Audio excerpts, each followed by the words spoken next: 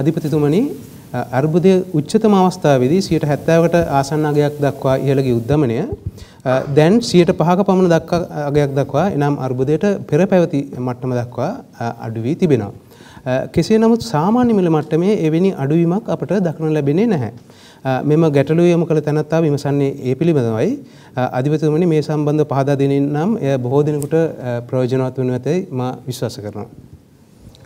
ඒක ඇත්තටම සාමාන්‍ය පොදුවේ අර උද්දමන කෙනෙක් ගැන තාක්ෂණික දෙයක් නිසා අපි සාමාන්‍ය එහෙම නිකන් වැරදි අවබෝධයක් තියෙනවා ඒ ගැන ගොඩ දෙනෙක් අහන ප්‍රශ්නයක් සාමාන්‍ය ජනතාව විතරක් නෙවෙයි මම දැකලා තියෙනවා අර මේ සමහරවිට විශ්වවිද්‍යාල මහාචාර්යවරයෙකුත් මම දැක්ක මේ දවසක් කියනවා උද්දමනය අඩුනාට බඩු මිල අඩු වෙලා නැහැ කියලා මේ ආර්ථික විද්‍යාව සංකේතය සම්බන්ධ මහාචාර්යවරයෙක් තමයි කියලා කිව්වේ.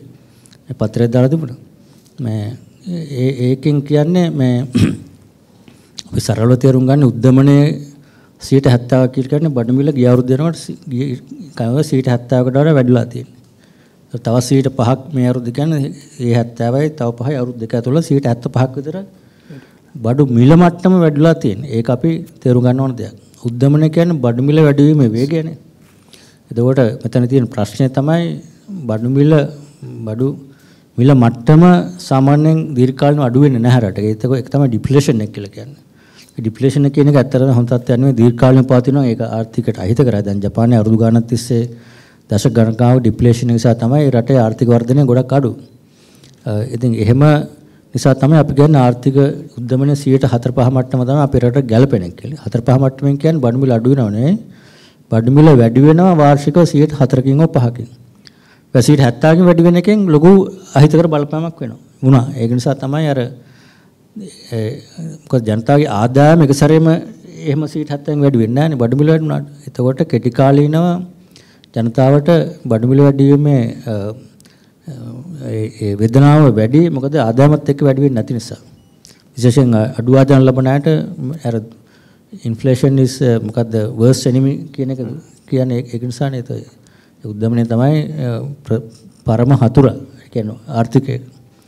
මොකද බඩු මිල වැඩි වෙනවා නමුත් තමන්ගේ ආදායම වැඩි වෙනවා. ආදායම වැඩි වෙන ගොඩක් කල් යනවා. අනිත් ආර්ථිකය අවපාතයක් තියෙනකොට ආදායම අඩු වෙන මිසක ගොඩක් අය වැඩි වෙන්නේ නැහැ. විශේෂයෙන් සුළු මධ්‍යම කර්මාන්තවල ස්වයං රැකියාවල ඉදෙන අයගේ වගේ එහෙම ෆික්ස් ඉන්කම් තියෙන රජයේ සේවකයන් වුණත් වැඩි වුණේ නැහැ නේද? දැන් මෙතෙක් වෙනකම් තාමත්. ඒතකොට ඒක බඩු මිල ඒ කාලයක් යනවා ආර්ථික වර්ධන වීම තුලින් තමයි අර වැඩි වෙච්ච බඩු මිලට ගැළපෙන විදිහට ජනතාවගේ ආදායම් මාර්ග වැඩි කරගන්න පුළුවන්. ඒකෙන් තමයි ඒක තියෙන විසඳුම.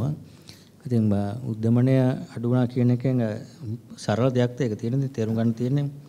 උද්දමනය අඩු වුණා කියන්නේ බඩු මිල අඩු වීම නෙවෙයි. බඩු මිල වැඩි වීමේ වේගය අඩු වීම. ඒක තමයි වැදගත්.